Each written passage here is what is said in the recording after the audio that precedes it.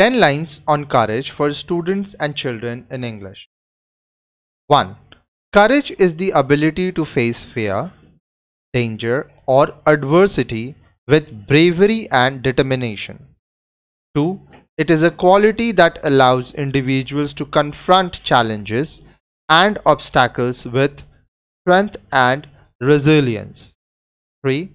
Courage is not the absence of fear, but rather the ability to overcome it. 4. It is a vital trait that enables people to stand up for their beliefs and principles, even in the face of opposition or opposition. 5. Courage can be demonstrated in different ways, such as standing up to a bully, taking a risk, or speaking up for someone who cannot speak for themselves.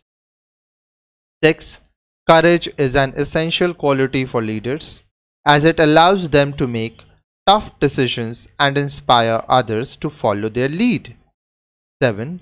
Courage often requires sacrifice as individuals may need to put their own safety or well-being at risk to do what is right. 8. Courage can be developed and strengthened through practice and experience as individuals learn to confront their fears and take actions in the face of adversity. 9. Courage is highly respected and admired by others as it reflects a person's strength and of character and integrity. 10.